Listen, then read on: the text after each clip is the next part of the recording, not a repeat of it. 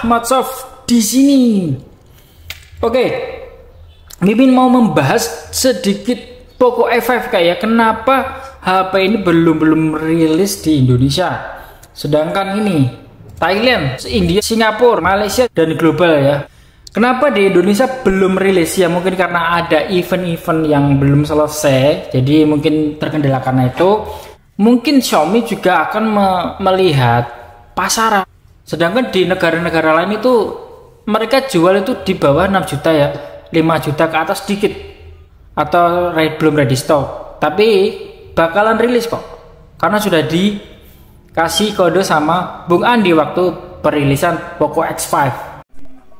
Uh, saya senang sekali rasanya bisa hadir dan berbagi uh, kesenangan dengan kalian semua di sini. Tapi, tapi, tapi, gue jamin nggak akan kerasa lama lagi kita akan segera bertemu kembali dengan produk dan performa ekstrim lainnya. See you semuanya, gua Bong Andi pamit. Pokoknya berhasil, pokoknya dua kali lebih. Gas, gas, gas.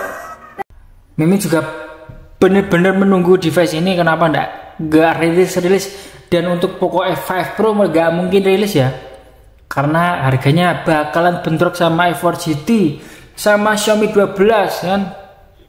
Mengingat HP flagship di Indonesia untuk Xiaomi itu mungkin kurang laku ya kurang laku karena harganya hampir jatuh juga sih Xiaomi 12 itu kan? Sampai enam setengah loh. Kalau Poco X5 rilis nanti akan jadi harga berapa gitu kan? Nanti akan menjatuhkan banyak uh, produk lain gitu kan Poco X4 GT aja itu masih 7 jutaan ya 7 juta ya barunya 8 juta.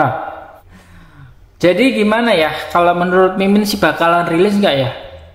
Tapi kalau FF tetap rilis ya. Karena itu dia menggantikan seri yang F4 gitu kan. Oke jadi gitu. Mungkin tiga menit ini kurang apa ya kurang jelas.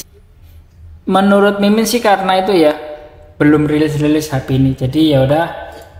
Nanti kalau HP-nya rilis, Mimin pasti beli. Pasti Mimin buatkan tutorial roadnya. Jangan bercanda ya. Kenapa baru bisa di? Ya karena Mimin tahu cara paling aman root HP. Oke jadi gitu aja. Jika kurang jelas ya mohon maaf Mimin cuma ambil opini aja sih ya oke jadi gitu sekian dari Amasov jadi maaf mohon maaf jika videonya kurang jelas. Jadi intinya ini cuma Mimin uh, buat pendapat saja. Oke sekian dari Amasov